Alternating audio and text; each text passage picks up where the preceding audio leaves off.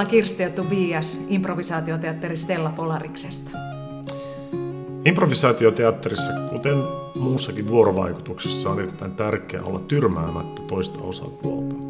Tyrmäyksiä voi olla monenlaisia, voi olla tietoisia tyrmäyksiä tai sitten voi olla ihan tahattomia tyrmäyksiä. Esimerkiksi me suunnataan huomiomme jonnekin muualle tai me ei kuunnella sitä toista osapuolta. Jos meillä on huono keskittyminen siinä vuorovaikutustilanteessa, me emme välttämättä kuuntele tarpeeksi tarkkaan sitä toista osapuolta. Tai me voidaan viestiä ristiin, vaikka sanat on positiivisia, kehon kieli on tyrmäävä. Seuraavaksi me näytämme pienen esimerkin kohtauksen, jossa isä ja tytär kohtaavat. Moi isä, Moi. me päästiin jo. Huomaa. Meidän luokalle tuli yksi uusi tyttö, yksi Jenni. Anteeksi, mitä? Meidän luokalle tuli yksi uusi tyttö, yksi Jenni. Se pyysi, että voisiko mä olla sen kanssa. Oho.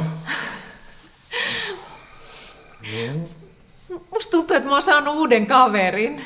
Sehän Mulla ei ollut ketään sen jälkeen, kun Sanni lähti. Sehän on mahtava, mahtava juttu. Se, se pyysi, että mä, me voitais mennä luisteleen tänään. Onko se ihan ok? Sehän on, on, on. Kyllä. Isä, kuuntelet sä? Ota, ota, ota, ota. Niin, hienoa, hienoa. Tosi, siis upeeta. No ei. Mitä nyt?